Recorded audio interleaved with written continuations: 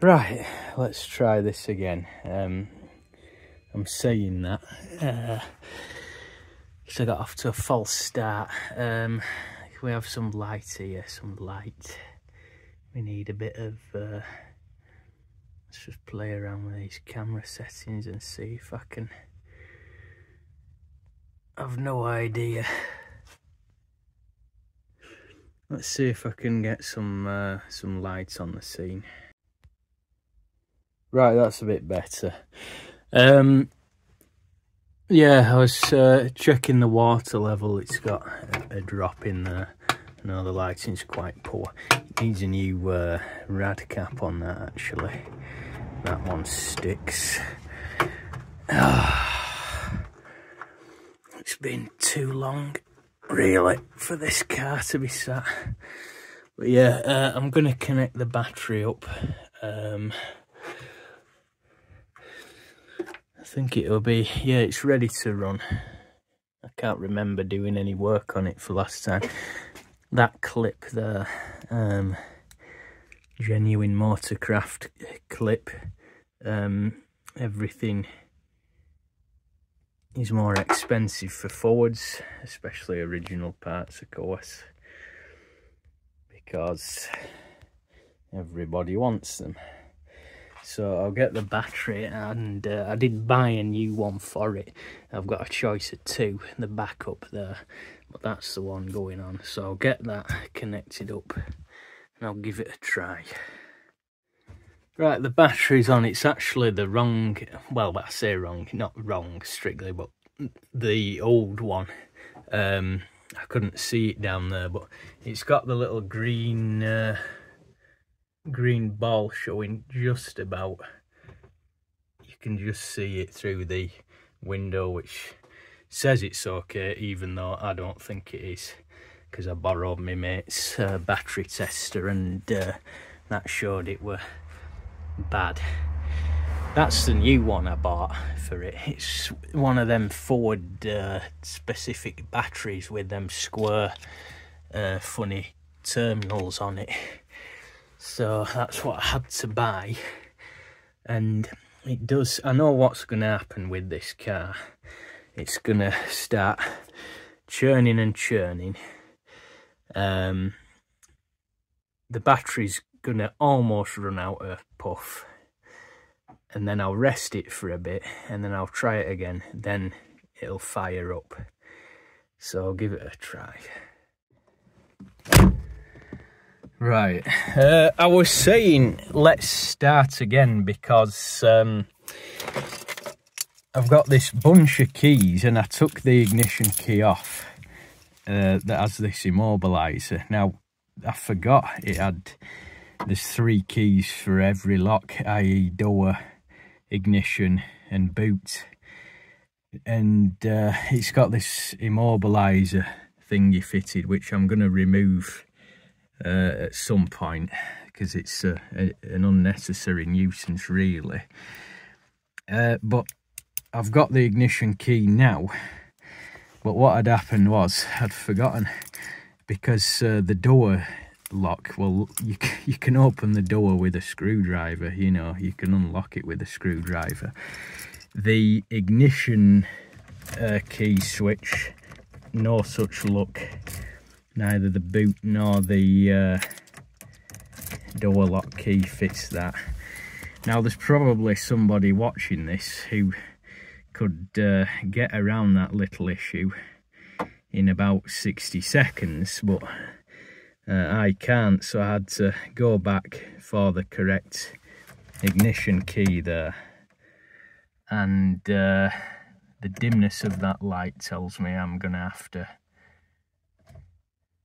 have that uh, other battery on the new one. So let's uh, give this a go. I can charge up that old one though and just have it as a standby battery. Um, this is the fiddly job this is. Trying to get this thing in. I know it's hard to see as well in the uh, in the darkness it's not good if you're in a hurry, you see, because everything's bloody you know, and time's against you, which it often is. Right, let's try that. Right, that's totally dead. Right, okay, the other battery, so I do need that new one. Right, um, maybe now with the new battery, just maybe, I can coax it into life.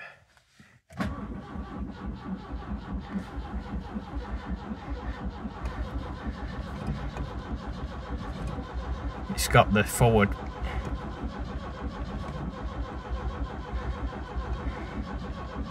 It's got that pre-engaged starter.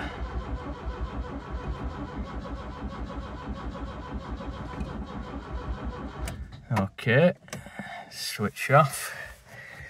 Uh, no good uh, working the battery like that. It, it heats up and the uh, starter cables get hot.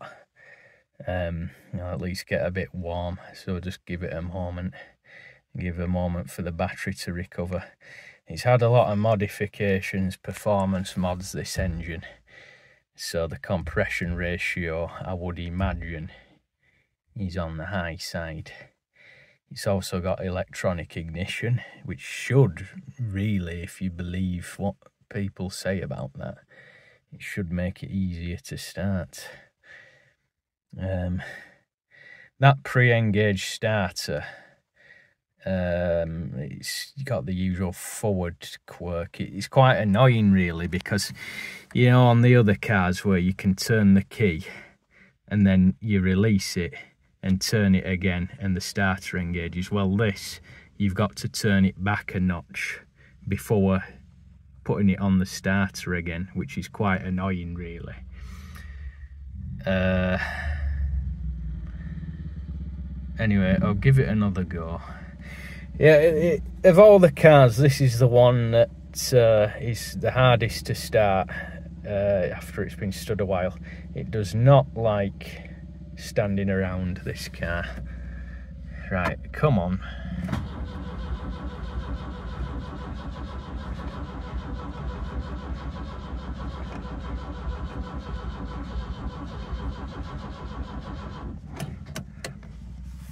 Nope. Looks like it's going to do what I expected it to do.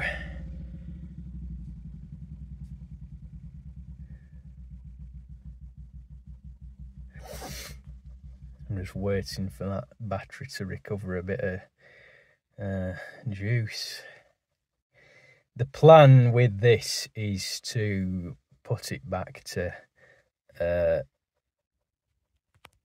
standard insofar as I'm going to get rid of them. I'll lose the twin Weber 40s. I've got the original inlet manifold and uh, twin choke Weber that it had originally. I've got two of them, so uh, I can make a good one out of two if needs be. But I'm just going to try one first of all. I, th I think the the both all right. Yeah, the chap I bought it off, he said uh, the butterflies were rattling on one of them, but that's uh, that's no big deal.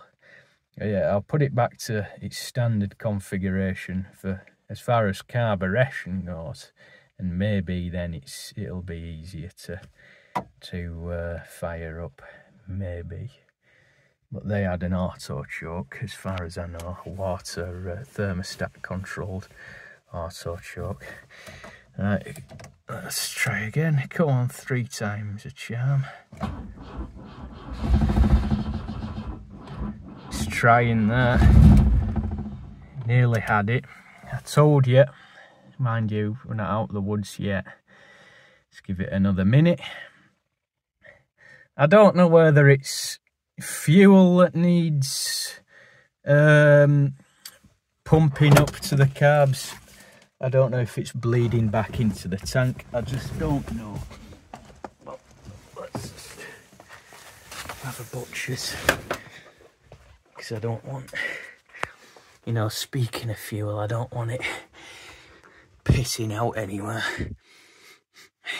I can smell a bit, I can smell a bit of fuel. But now it's uh, wet with it, but there's definitely petrol getting up there now and I do use the super octane for this engine um,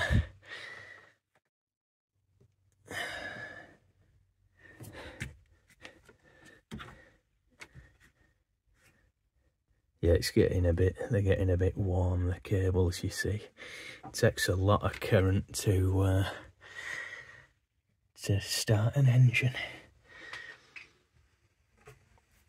Right, it's gonna go now. I know it is.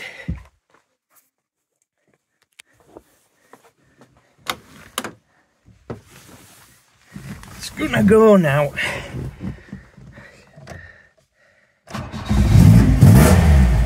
There you go.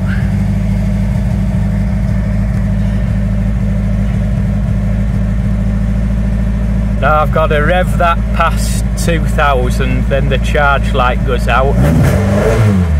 Wake the alternator up. I need to replenish that battery but yeah there you go. I'll let it warm up for a bit then I can get it out. Now I know it's working that's fine. It's the same every time with this car leave it for a while churn it over and then um, it starts just as the battery gives wants to give up.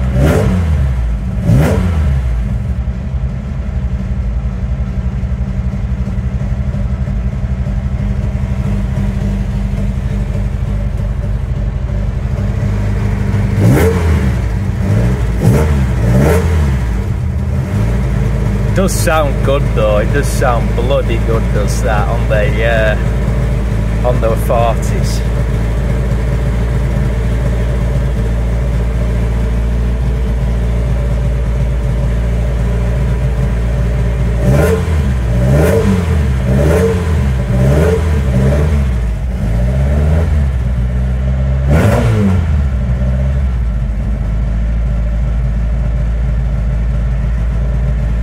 Right, I'll uh, get it out then, back in a tick. Let it settle down. Yeah, yeah well, that's... Girls. Girls, I, I'm trying to concentrate. I'm trying to concentrate here.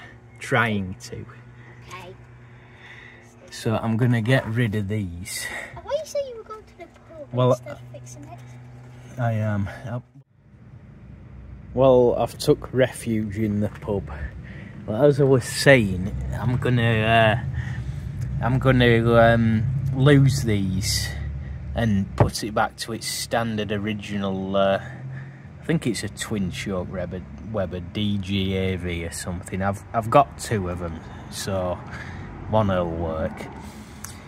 Uh, the reason for that is reliability really more than anything because uh, this car was made at the time when uh, the manufacturers started fitting emissions and open crankcase breathing was was out it became uh, verboten so we've got a multitude of breather pipes, some I think fuel return and what have you.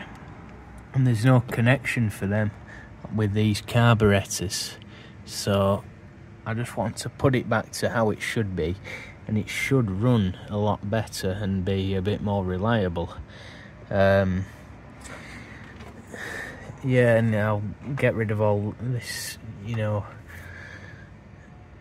pipe here which isn't proper fuel pipe at all.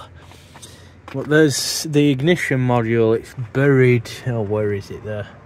Lumenition, that's an old uh, Lumenition setup. But yes, it is getting there and it is a genuine example. I did the cam belt, refitted the cover, done a couple of other jobs. One thing, uh, one of the reasons why uh, I'm not driving it very far is because of that. I've never had any other car where the differential, uh, the axles rotted through. That has allowed oil to leak out. Um, the chap before me has uh, crudely welded it up but it's still leaking. Uh, as a result of that, the diff, as you will hear, is quite noisy. So uh, it's an axle off job really so I can um, make a, a, proper repair on it. But it's it's getting there. You know it's getting there. So I'm gonna fire it up now and uh, hit the road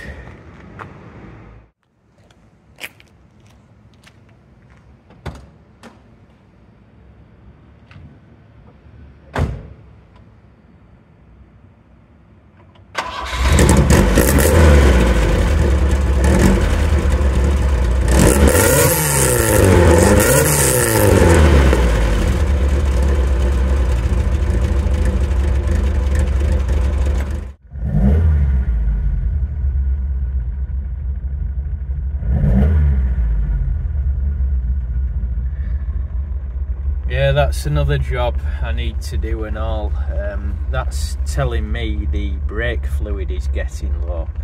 That's because the master cylinder's uh, leaking. Uh, not excessively, but it's at the low level. So I've got this warning light telling me that it's uh, it's going.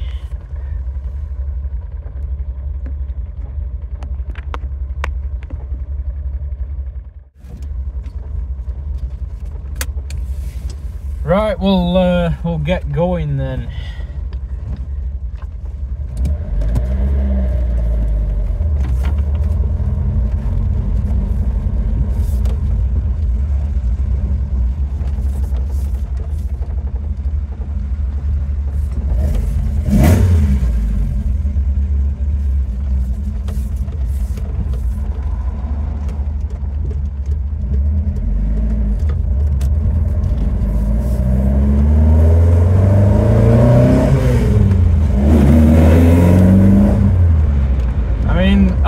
controls are quite heavy really, the, the steering especially so.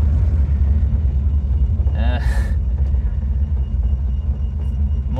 than the other cars.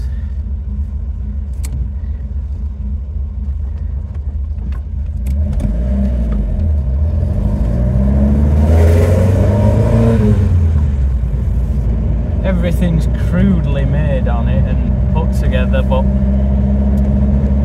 you know, all is forgiven because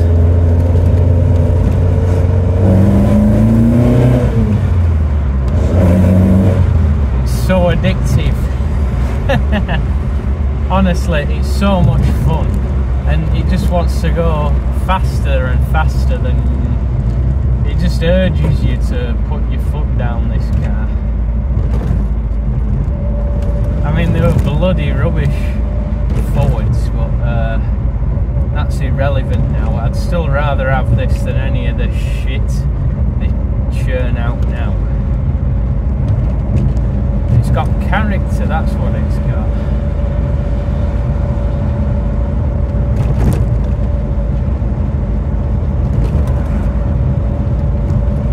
You can probably hear that axle, uh, that differential whining a bit, that's complaining.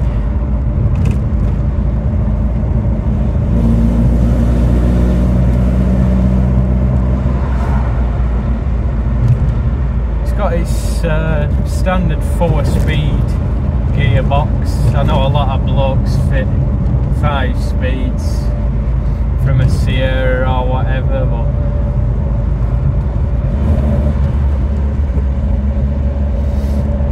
four, it's pretty damn well tall geared, you know, compared to what I'm used to. Not wrong with the gearing in standard spec. So yeah, I want to carry on with getting it properly uh, up to scratch. And then just start using it more, really.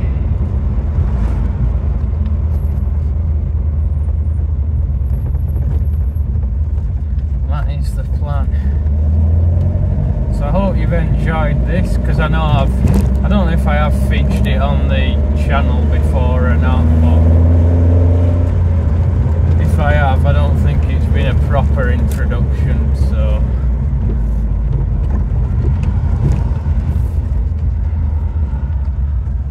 There we go. The old RS2000. I like it, I do. I really do like it. it's a lot of fun, great fun. See more, um, and yeah, leave us an old like, comment or whatever, and uh, see you in the next one.